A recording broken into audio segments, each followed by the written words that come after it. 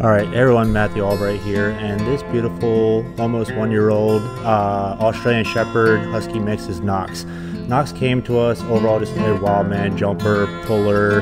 Uh, he liked to mark everything, and just he was 100 mile an hour on his own terms. But overall, very great pup, and I'm excited to show you the progress he made after his two-week board and train.